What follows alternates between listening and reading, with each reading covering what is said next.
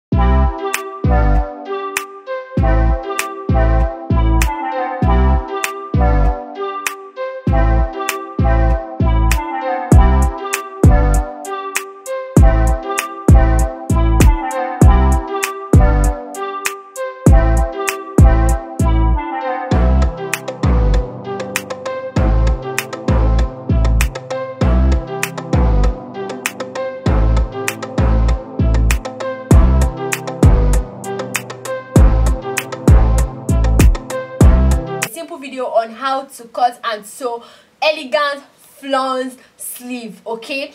elegant flounce sleeve so i am making use of this satin fabric and you can use any fabric of your choice you can use african prints you can use your brother satin you can use scuba it depends but you're making use of any fabric that have structure so that you can have this your flounce shape and in order for it to stand well you need fabrics that have structure okay so i'm making use of this brighter satin now the first thing we have to do now is to fold our fabric into four in order for you to fold your fabric into four you are also to use the measurement determines or depends on where you want to fix your flounce to right so we'll go ahead now and fold our fabric into four this is our fabric this way you fold your fabric into two you fold your fabric into two this way and then you fold it again into two so this is basically how to cut your flay you are basically folding your fabric in a flay shape how to cut your 360 flay so this is what it looks like so i've gone ahead now to fold my fabric into two and then you fold it again into four so i'll go ahead now and just cut this out so that you guys can have a clear look of what we have so guys now we've gone ahead now to fold our fabric into four and this is basically what our fabric looks like now the next thing we are going to do now is to go ahead and mark the length of our flaws okay the length of what we need and also take our radius now we are also going to be making use of this crinoline i hope you guys can see it this is crinoline and i am making use of the black color so they have the white crinoline and also the black i think it comes in different colors let me know put that in the comment section but i'm making use of this black crinoline and because my fabric is actually black so now let's go ahead now and take the length of what we need so my length now my total length of what i need is about 10 inches so i'll go ahead and place my tape measure from this folded edge from this folded edge now i'll go ahead and mark 10 inches from this folded edge you can see the way my tape measure is now you take it to this part go ahead and mark 10 inches go ahead and mark your 10 inches and then you take it to this part and you mark your 10 inches once you are done you go ahead and connect the lines together this is what you have So the next thing we are going to do now is to mark the radius of what our flounce is. So if you want to attach your flounce to your sleeve, it simply means that the radius here will be equal to your round sleeve. But if you just want to use it as a design on your clothes, then you can go ahead and make it of 3 inches, 4 inches. It depends on what you want and also where you want to attach your flounce to so i'm going to go ahead now and make use of four inches for my flounce for the radius so you go ahead and place your tape measure this way to indicate where you have your four inches go ahead and mark it place your tape measure just like the way you do for your flay place your tape measure to this part we have four inches take it this way okay take it this way now you have four inches take you to this part you have four inches connect the lines together this is what you are going to have so you have your radius and then you have your length so if you are attaching this to your round sleeve your radius should be your round sleeve divided by four and of course you add your allowance to it but if you just want to use it to create design on the clothes then you can basically use whatever you want and it depends on how full you want your fronts to be so i'll go ahead now and cut this out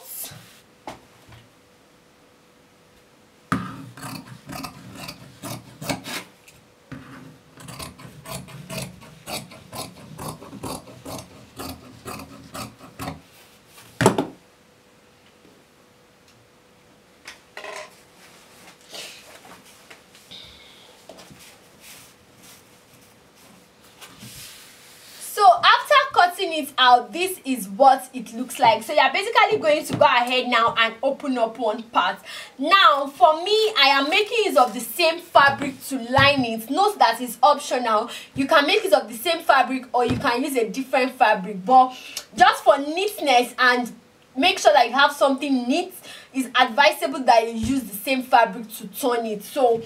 now this is the same fabric now we want to cut out our lining we folded it also into two we'll go ahead now and fold it again into four so we'll go ahead and fold it into four and this is what it looks like so i'll basically just go ahead now and place the main fabric on it and cut it out okay so that i don't need to start taking the measurements again so i'll place it on it make sure i pin it down so that it doesn't move then i will go ahead now and cut this out so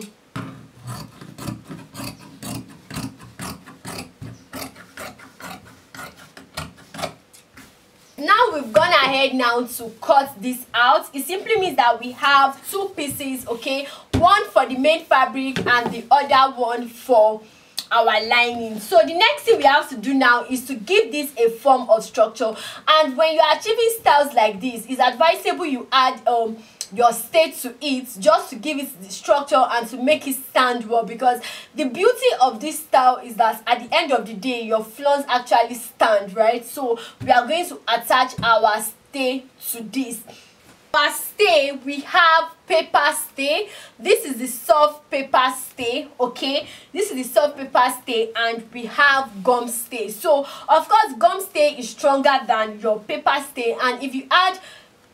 gum stay to it it makes it more thicker and it's going to stand well right so if you're adding gum stay to like your scuba fabric you know the result you're going to have is really going to stand well and if you're adding gum stay to like your bridal satin you know it's going to stand well right now you can also use your collar stain you can use your collar stain if you really want it to be very very strong but for me i feel like gum stain or paper stain is fine however it depends on the um, on the fabric you are working with and also your choice so if you want something that really stands well like very strong you can use your collar stain so that is it so i'm going to go ahead now and iron my stay on both my lining fabric and also my main fabric so after ironing my stay on the fabrics and then i'll show you guys what next we have to do so guys now uh, this is what we have for the first layer and the second layer which is our lining so i've gone ahead now to iron my stay to it and this is what it looks like and i also ironed my stay to the second piece also now the next thing we are going to do now is to go ahead now and fixing our crinoline to it right so we are basically going to be sewing our crinoline we are basically going to be sewing our crinoline to this now this is the crinoline it's stretchy so when you are sewing it you don't have to pull it okay so basically just go ahead now and place your crinoline this way you can pin it down so that you are sure it doesn't move so while you are sewing it don't stretch it don't stretch it if you stretch it you're not going to have like a very good effect so just place it on it place it on it okay but when you are sewing it leave about half an inch at this part the reason why you are leaving half an inch at this part is because you are going to use the second piece to turn it as your lining so just to leave room for your lining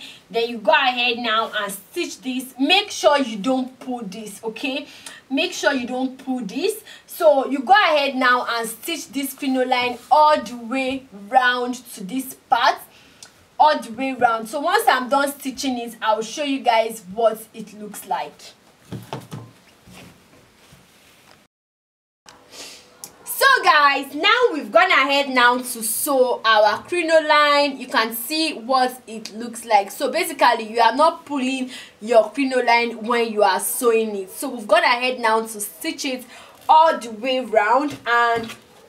this is what we have by the time you turn it this way so the next thing you are going to do now is to go ahead and take the second piece which will serve as your lining and then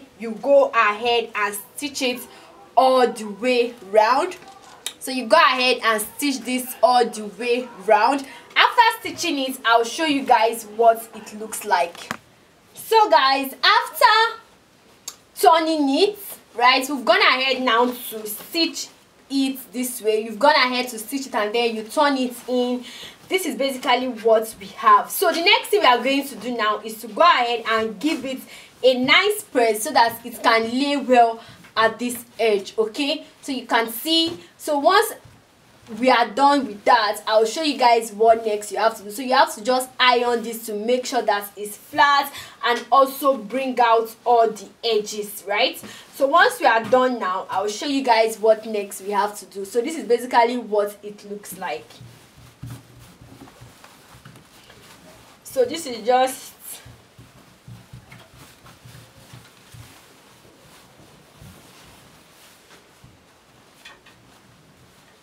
so we've not ironed it yet but you can see okay let me just go ahead and iron this and then we'll continue from so guys now we've gone ahead to iron it you can see how it lays like it lays very well so just make sure you give it like a very hot press so the next thing you're basically going to do now and for the other side this is what you have so for both sides this is what you have so i'll just go ahead now and trim off this part where my paper stay is showing and then i'll show you guys what next so after trimming it now you can see that what we have here is neat so you can go ahead now to your weaving machine or your scissor machine and then you go ahead and interlock this part or you can use your bias to tape it but for the sake of this tutorial i'm just going to show you guys what next you have to do so at this point now you are basically going to run your gather's foot round so you go ahead now and run your gather stitch rather go ahead and run your gather stitch all the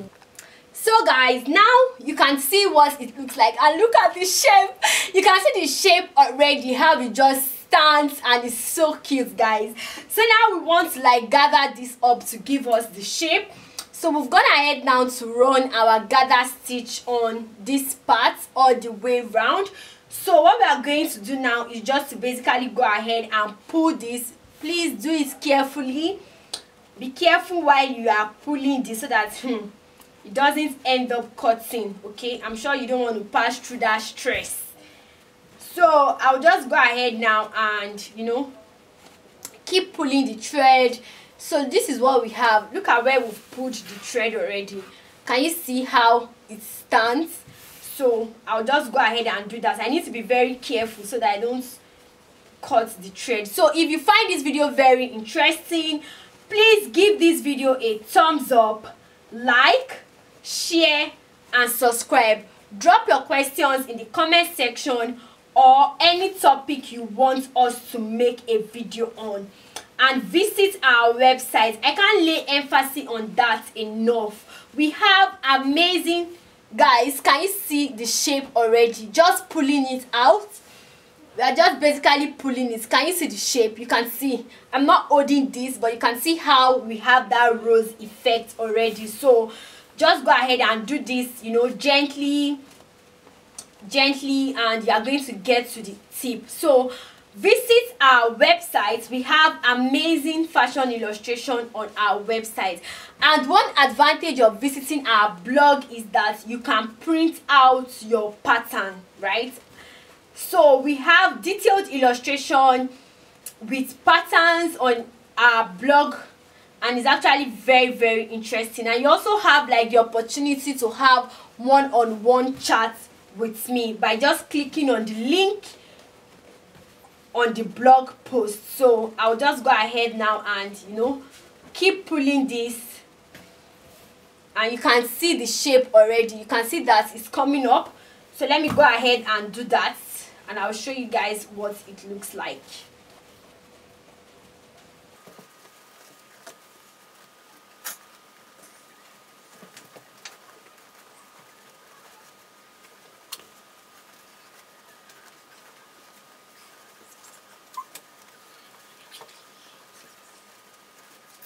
pulling this okay while you are pulling it you can determine how wide you want your rows to be so if you feel like what you have at this point is okay then you stop but if you feel like you still want it to be more full you know you want it to be more full and smaller then you keep adjusting it so you are basically just adjusting this to the size of what you want and the more tight it is the more your shape comes out and the more beautiful effect you will have so by you can see what it looks like this is like another shape already and this is the front you can see what it looks like so now we've gone ahead now to do that Gonna head down now to do that so at this point now what next you have to do is your level of creativity okay you have to be creative as possible because the way you style this will determine the kind of outfit you have and also the design so let me pull it a little more i really want mine to be very tight so that i can have you see this is like another design you can see that this one just gives us like you can decide to open it or just close it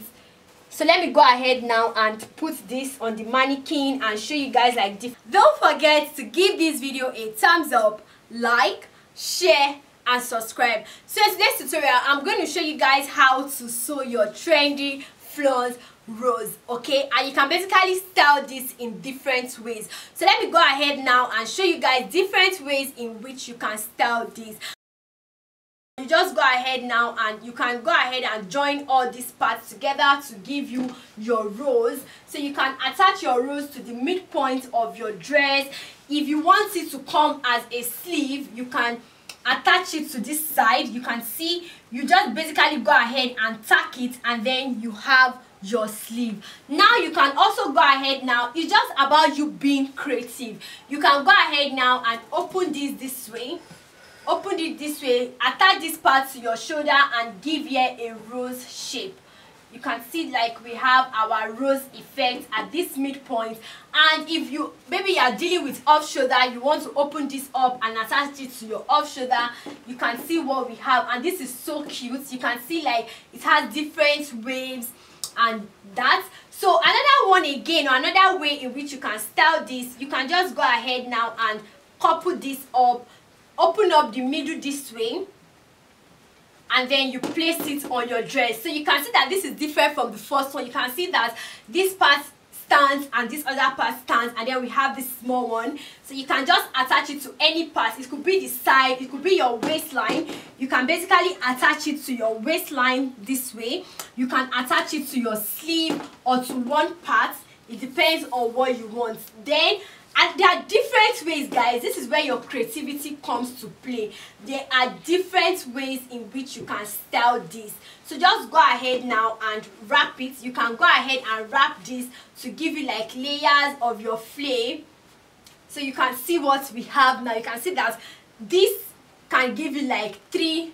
layers like one two three this is what it looks like so you can style it in different ways so if you're interested in learning how to make this then stay tuned and don't forget to give this video a thumbs up like share and subscribe